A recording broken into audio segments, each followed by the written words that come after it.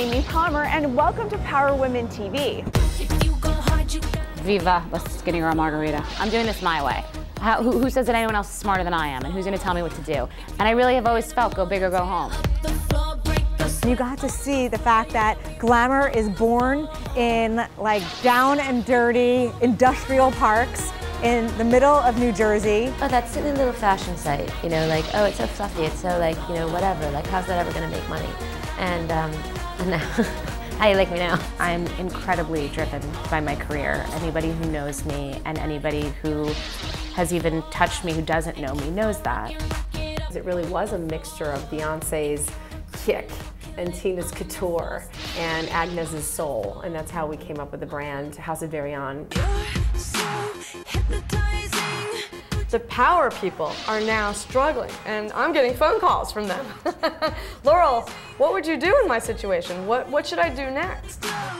We're still not in a place where it is totally comfortable for somebody to, in a, in a big job to come back and to be able to continue to do that big job and to continue to also be a mom the way you want to be a mom.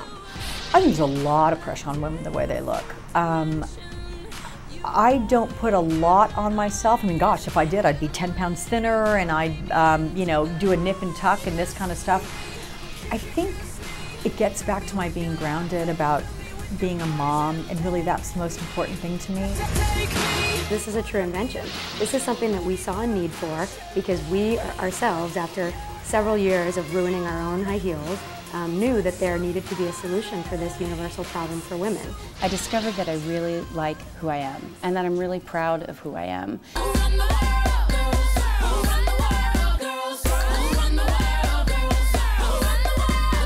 My name is Heather Thomsen. I'm Karen Robinowitz. I'm Liz Stern from Divalicious Mom. I'm Bonnie Fuller, and I'm a power woman because I believe you have to follow your passion. I couldn't be busier, but I couldn't be happier. I simply believe that I can be.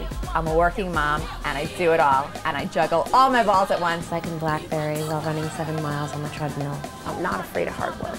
I never let anyone tell me no. I go big or go home, and I'm a dog on a bone. I don't stop until I get exactly what I want and exactly the way I want it.